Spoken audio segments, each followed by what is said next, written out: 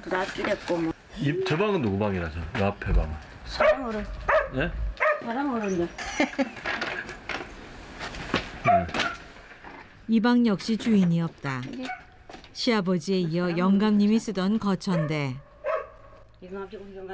영감님이 27년 전 교통사고를 당했을 때도 사랑으로 4년 전 노환으로 세상을 떠난 그때도 큰아들은 지극정성 병구안을 했었다. 밥도 못 먹고 해둔 사람 지가 상통 밥도 미거든. 한 1년 삐쳤을게래. 그러다가 우리 저도 모자 안 빠졌다 했긴 엄마 아버지 하셨다 그 나오라 그 나오긴 선거도 퇴이 나오긴 그리움보다 야속함이 크다.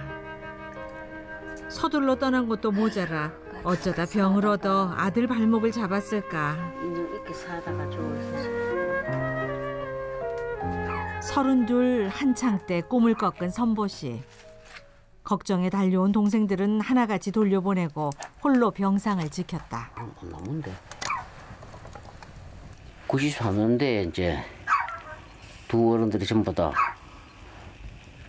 있는 식으로 이래 우환이 생겨가지고 그래 돌아가가지고 직장 생활을 나갔다가 돌아왔다 이게 안 되잖아요.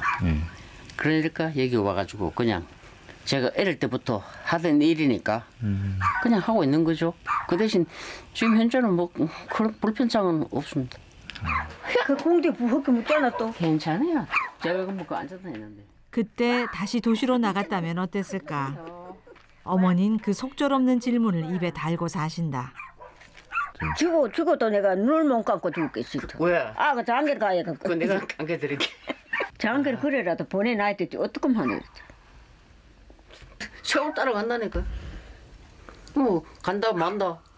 내가 장담하는 것도 아니고 음, 된다 안 된다 이것도 할 수 없는 경우 그냥 물 흐르는 대로 쭉 가는 거요.